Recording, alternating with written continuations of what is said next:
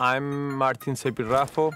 I'm uh, from Bariloche, Argentina. I'm 39 years old. I'm a really passionate person for riding bikes. I had the opportunity to live in many other places around the world, but even in a country where we have like some difficulties, I choose to live here.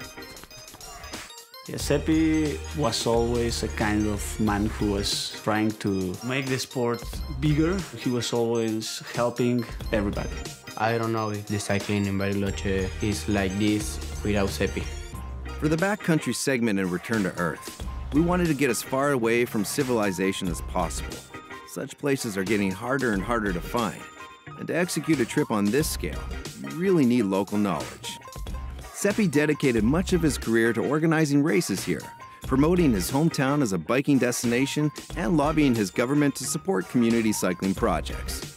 When I was really kid, I spent most of the time trying to build BMX tracks around the neighborhood, but the problem was it was so steep that instead of building a BMX track, we were doing downhill tracks. I live in a place full of mountains, so probably it's a good idea to try with this kind of bike.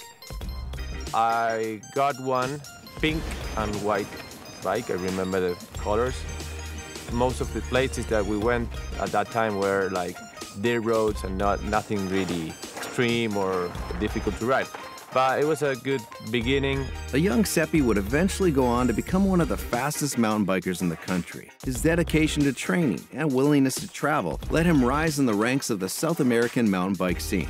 But like any young person, he wasn't sure about his career yet and still wanted to pursue his other childhood dream of becoming a doctor. So for the next 10 years, Cepi conducted a delicate balancing act of training for mountain bike races while attending medical school in the nation's capital, Buenos Aires. I was blown away to find out that he was also a doctor on top of everything else that he does. He's just kind of a jack of all trades and he's just he's just busy. He's just really busy making mountain biking better in Bariloche. When I was finishing my medical school, we had a big problem with the National Federation. From one year to the next one, they said that no more downhill races in Argentina.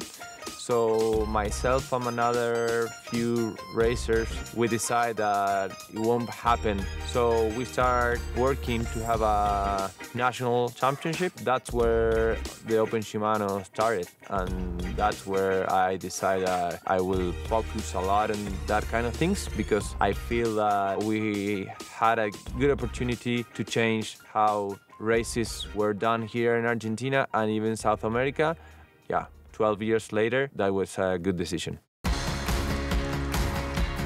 Already with his hand in the future of mountain biking in South America, Cepi wanted to give the riding scene in his hometown of Bariloche the best chance to flourish.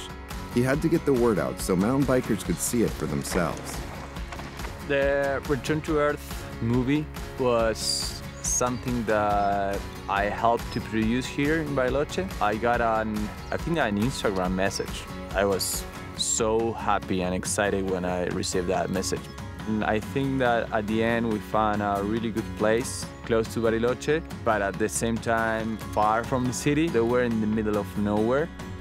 Having a film crew come and showcase the mountains around his home was an opportunity Cepi didn't want to miss. But having Cepi along also made filming Return to Earth such a smoother experience. We came to Patagonia to get off the grid and document the experience of distancing ourselves from constant societal distractions.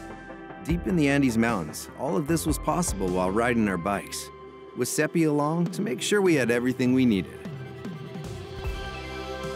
Being in this setting, you feel super connected and clear in your head. Like you just, it's easy, feels natural peaks around here, looking around, we can't even see a single sign of human civilization. Can't see fence lines or roads or highways or anything. It's really cool.